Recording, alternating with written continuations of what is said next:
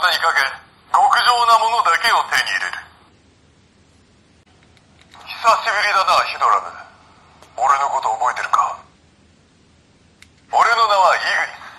宇宙一のトレジャーハンターだ。ウルトラマントリガー。その力極上だね。無理せず引くのもハントの心得。じゃあまたね。他人の星を勝手に踏み荒らす奴らが気に入らないだけさ。俺と俺と戦う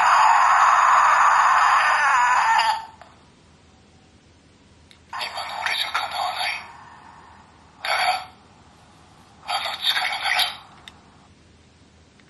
お前自分の気持ちに気づいてないのか？